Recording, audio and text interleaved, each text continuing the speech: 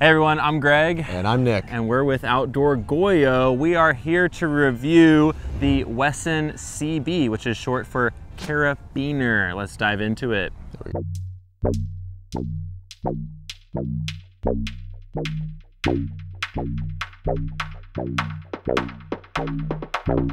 Off. What do you think of this thing? It looks cool, right? That is, I'm just gonna say straight crazy. It is a solid titanium body, solid piece of titanium, one piece of metal here, nothing else. And it's got special grooves cut into the uh, one of the corners here that allow it to flex yeah, in and out. Very so cool design. Is the uh, the carabiner um, gate. Really. Yeah. And it doesn't clip shut or anything. It's just kind of a friction hold. It's more of a thing for non-load bearing, uh, your keys, uh, lanyard type thing. But I will say this thing is one stylistic thing. It's a, you, you see it and you got to do a double take. Yeah. It's it, it's a fascinating idea. It only weighs half a half an ounce. It's, it's super, super light. duper light. Yeah. Super lightweight titanium. Yeah. Um, it's pretty strong from what I've been able to tell just but carrying other mm -hmm. things. Yeah. But I will say that there, there's a couple pros, a couple cons. Pros, super lightweight, but I don't know how lightweight does a carabiner need to be. Yeah.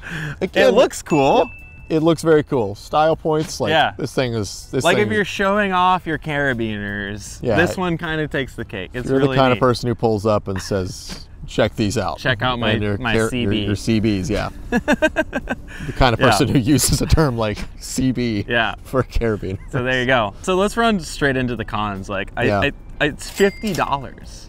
This is Youch. a $50 carabiner to yeah. replace a a 50 cent, cent carabiner? Yeah, this is the carabiner that I normally use, like a cheap aluminum, whatever. I've even, it's pretty strong. I've used it as a bottle opener when I don't have yeah. bottle opener.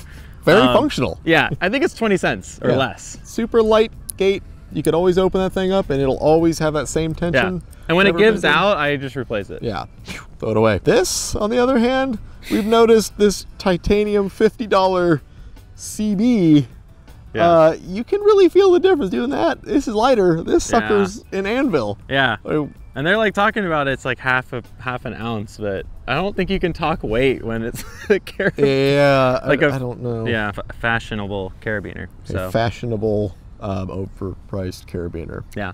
Aluminum. And, yeah. It's got us. It's it's a very simple design. It's been around forever. It we all have. Weigh them. that much more than this either.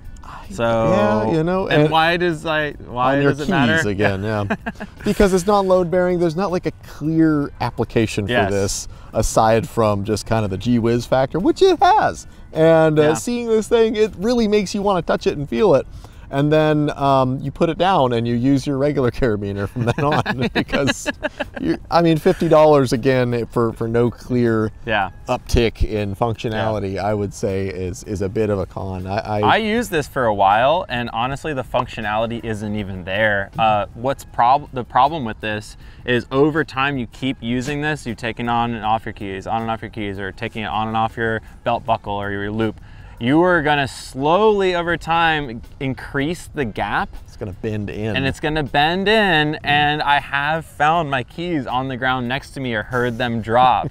so it's, it's actually, we highly advise against spending $50 on this carabiner if you're gonna put something important yeah. on it. But we highly so. advise buying it if you wanna show your friends.